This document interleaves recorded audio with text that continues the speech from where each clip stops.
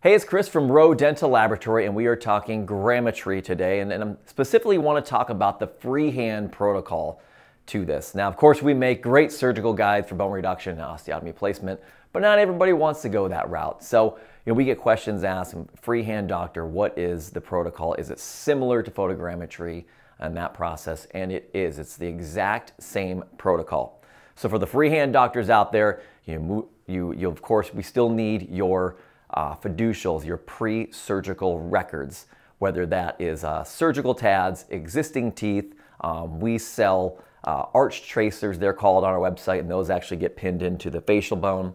Um, or you can go out go the denture route as well uh, for your surgery. But pre-surgical records, um, establish establish a nice bite vertical with the uh, the TADs, and then you move forward with your surgery, your bone reduction and then place your multi-units. Next, you're gonna take the OptiSplint, place that in the mouth and just uh, insert the OptiSplint into each one of the multi-unit abutments.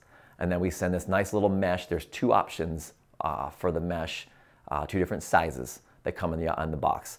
So then you place your mesh, lute the mesh in the mouth, just a couple minutes to do that um, until it cures. Then you unscrew the OptiSplint from all the multi-units and set that aside on the table. Meanwhile, you're going to take your intraoral scanner and you're going to scan uh, with the healing abutments on the multi-unit abutments, uh, scan your post-surgery, capturing the healing abutments and capturing your fiducial, whatever that might be.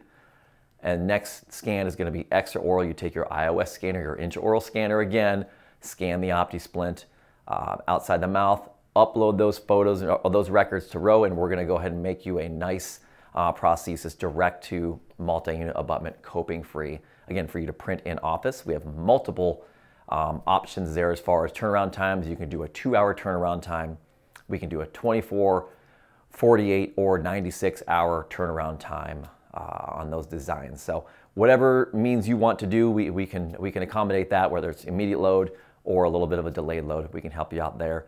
If you don't want to do the printing in office, don't want to deal with that, then of course, send us those records and we're gonna make you a nice prosthesis here at ROE and ship it back to you in just a few days. So again, we're here for the freehand doctors as well with Grammetry. We have a very nice protocol, nice process with that. So we'd love to work with everyone on the Grammetry uh, front and get you guys some really great prosthesis direct to multi-unit abutment connections. Any other questions on Grammetry, check us out on our website. Um, uh, additional questions can also be left in the comment section below and we'll get right back to you. And also please subscribe to our YouTube page for great content like this. Thank you.